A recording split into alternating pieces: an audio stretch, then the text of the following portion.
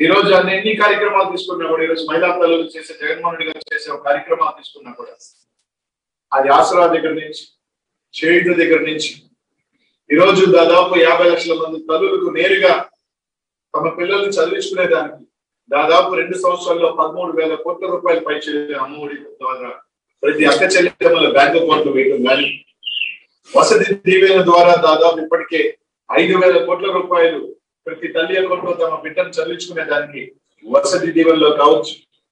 అదే విధంగా దాదాపు ప్రతి బిడ్డకి మంచి పోషణ వాళ్ళు పుట్టిన బిడ్డ దగ్గర నుంచి ఈరోజు ప్రతి బిడ్డకు కూడా పోషణం బాగుండాలని చెప్పి దాదాపు ముప్పై లక్షల మంది మహిళలకు సంబంధించి దాదాపు ఇంకో రెండు వేల ఐదు వందల కోట్ల రూపాయలు ఖర్చు పెట్టే కార్యక్రమం ఈరోజు ఎంత దౌర్భాగ్యమైన పరిస్థితి అంటే గత ప్రభుత్వంలో మహిళాంతరులకి ఒక్క ఇల్లు అంటే ఒక్క ఇల్లు కూడా ఇచ్చిన కార్యక్రమం దాఖలాలు సరే టిట్కో ఇల్లు రెండు లక్షల యాభై వేలు ఇస్తే దాంట్లో కూడా లోన్ మాది లోన్ పేరు మీద కావచ్చు రకరకాల పేరు మీద కావచ్చు వాళ్ళు బ్యాంకు దాదాపు మూడు లక్షల రూపాయలు అప్పుతో కూడిన మూడు వందల చదువుపడి ఇల్లు ఇచ్చి నెలకి రెండు వేల ఎనిమిది వందల ఇల్లు రూపాయలు చొప్పున ఇరవై ఇరవై సంవత్సరాలు పట్టుకుని అప్పు భారాన్ని ఇచ్చారు.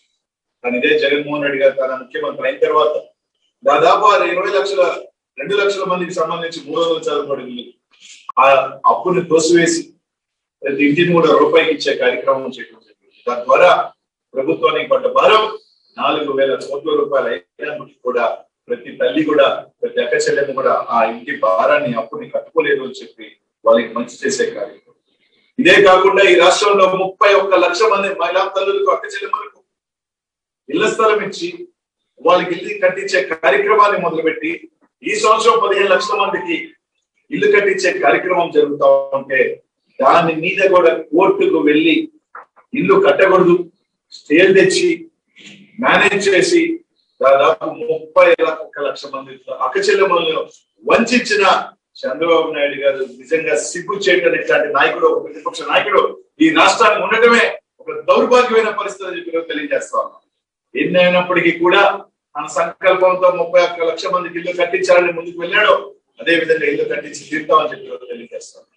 ఈరోజు ఏ ఒక కార్యక్రమం తీసుకుంది ఒక దిశా చట్టం తీసుకురావాలని ఆలోచన చేసినాం ఒక అమ్మఒడి గాని ఒక చేయుట్లు గాని ఒక విద్యా దీవెన గాని ఇళ్ళకు పథకం గాని ఈ రోజు కాపు నేస్తం గాని ఈ రోజు అలా అగ్రవర్ణాలకు సంబంధించిన నవంబర్ పదిహేనో తారీఖున నవంబర్ ఈబీసీకి సంబంధించిన తీసుకోబోతున్న చేయుట్లు గాని ఈ రోజు ప్రతి ఒక్కటి కూడా మహిళా తల్లులు దృష్టిలో పెట్టుకొని చేసే ఈ కార్యక్రమాలు జగన్మోహన్ రెడ్డి గారు చేసే కార్యక్రమాలు ఈ రాష్ట్రంలో మహిళా తల్లులు అందరూ కూడా అక్క చెల్లెములందరూ కూడా నిరాశనాలు పడుతూ ఉంటారు ముఖ్యమంత్రి గారు ఎప్పుడూ చెప్తుంటారు ఎంత చేసినా అక్క చెల్లెమ్మలకు మనం తక్కువే.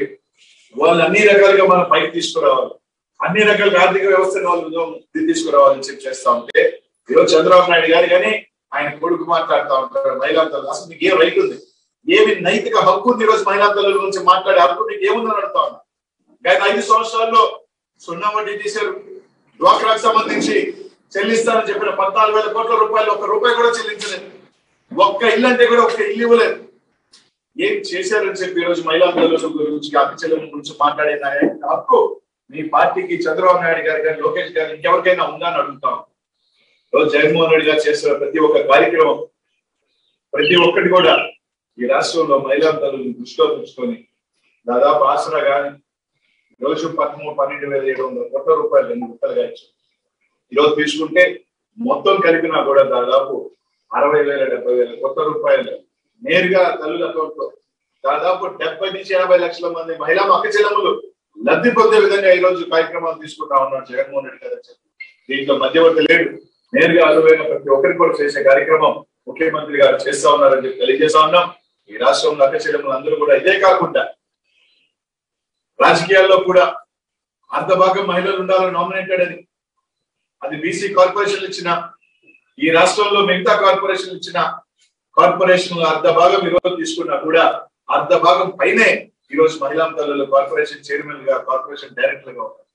ఇదే జిల్లా పరిషత్ చైర్మన్గా కానీ లేదా ఇంకా మున్సిపల్ చైర్మన్గా కానీ అనేకం కూడా తీసుకున్నా కూడా యాభై శాతం కన్నా పై చిలుకే ఈ రోజు మహిళా తల్లులు రాజకీయాలలో పోస్టులు ఈ రోజు ఉన్నాయంటే మహిళా సాధికారత మహిళా ఉన్నత స్థితి తీసుకురావాలని ఆలోచన చేసే ముఖ్యమంత్రి జగన్మోహన్ రెడ్డి గారు ప్రధాన అడుగుతారు నామినేటెడ్ పదవుల్లో ప్రతి ఒక్కరు మహిళలకి పెద్ద పీట వేసి వాళ్ళకి ఈ రోజు అండదండలుగా ఉన్న జగన్మోహన్ రెడ్డి గారిని ప్రతి ఒక్క మహిళ అక్కచెల్లెమ్మలు దీవించాలని చెప్పి చూసుకుంటారు కనీసం మీ దాంట్లో ఇట్లాంటి ఒక ఆలోచన గత ప్రభుత్వంలో కానీ ఏ ఒక్క ప్రభుత్వం కూడా ఆలోచన చేయని కార్యక్రమాల్ని ఈ రోజు ముఖ్యమంత్రి గారు చేస్తా ఉన్నారు. ఈ రోజు జగన్మోహన్ రెడ్డి గారు చేస్తా ఉన్నారు. దీవించమని ఇట్లాంటి చౌకబారు విమర్శలు ఎప్పుడో వచ్చి ఎప్పుడో పోయి చుట్టం చూపుగా ఈ రాష్ట్రంలోకి వస్తున్నారు.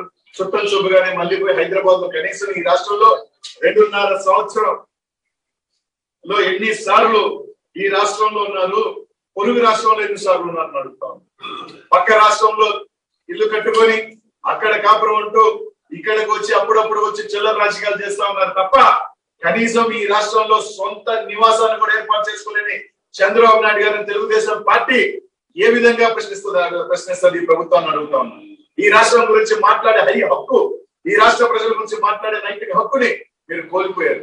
ఐదు సంవత్సరాలు అధికారంలో ఉండి కనీసం అమరావతి అనే దాన్ని క్యాపిటల్ చెప్పుకున్న మీరు కనీసం ఒక సొంత ఇల్లు కూడా కట్టుకోలేకుండా ఈ రోజు కూడా ఎక్కడ ఉన్నాడు అంటే హైదరాబాద్లో ఉన్నాడు.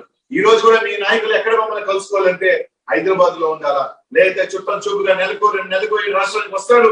అప్పుడు వచ్చి కలిసే విధంగా ఈ రోజు మీకు ఏం హక్కు ఉందని అడుగుతాం ఈ రోజు ఈ రాష్ట్రంలో ప్రతిపక్ష నాయకుడిగా ఇక్కడ ఇల్లు కట్టుకున్నాడు? ఈ రాష్ట్రంలో ఇల్లు కట్టుకొని ఇక్కడే ఉంటున్న జగన్మోహన్ రెడ్డి ఇక్కడ ఈ రోజు అన్ని పార్టీలు అది చంద్రబాబు అయినా ఇంకో జనసేన అయినా మీకు ఇల్లు ఎక్కడ ఉన్నారా నాయన అంటే హైదరాబాద్లో ఉన్నాం. మీరు రాజకీయాలు ఎక్కడ చేస్తారు అంటే ఈ ఆంధ్ర రాష్ట్రంలో చేస్తాం చౌకబారు విమర్శలు చేస్తాం. అప్పుడప్పుడు చుట్టం చూపుగా వస్తాం ఊళ్ళో జరుగుతాం కడుక్కోమని అంటారు. ఈ రోజు ఇన్ని లక్షలు ఈ రోజు అడుగుతా ఉన్నాం. ముప్పై లక్షల మందికి ఇల్లు ఇచ్చే కార్యక్రమం పోటీకి వెళ్తే తెలుగుదేశం పార్టీ నాయకులు అది కూడా వాళ్ళకి తెలియకుండా దొంగలాగా తీసుకెళ్ళి కోర్టుకు నాయకులే ఈ రోజు కొన్ని పార్టీలు ఏదైతే మద్దతుగా ఉన్నాయో ఆ ప్రతిపక్షాలకు ఎందుకు మాట్లాడలేదని అడుగుతాం ఎందుకు ప్రశ్నించట్లేదని అడుగుతా ఉన్నాం. ఇంత మంచి కార్యక్రమాలు చేస్తున్న జగన్మోహన్ రెడ్డి గారిని ఈ రాష్ట్ర ప్రజలు ఈ రాష్ట్ర అక్కచెల్లెలు అందరూ కూడా పిలుస్తా ఉన్నారు.